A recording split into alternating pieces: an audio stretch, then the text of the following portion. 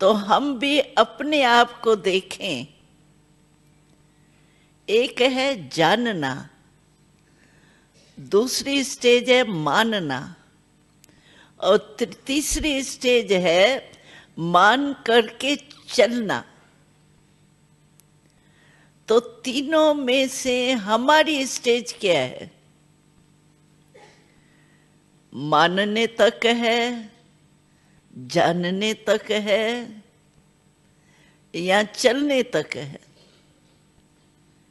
क्योंकि प्रैक्टिकल मालूम पड़ता है चलन और चेहरे से। ये दर्पण है।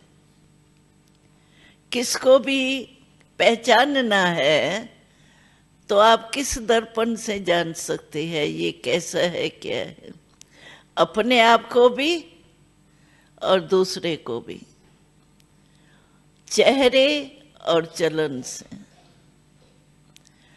तो शुरू शुरू में बाबा ने सुनाया था कि कोई आपसे पूछे कि आपका हालचाल क्या है?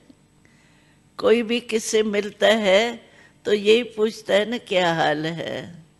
क्या चाल है?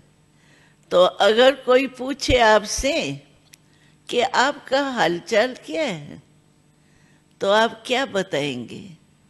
हमारा हाल क्या है? खुशहाल खुशहाल है।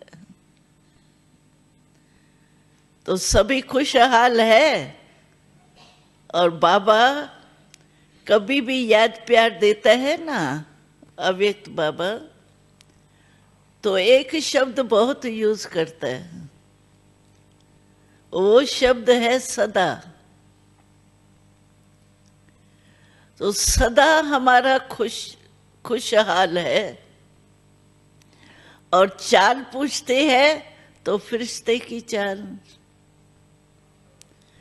तो ये भी चलन और चेहरे से पता पड़ता है ना।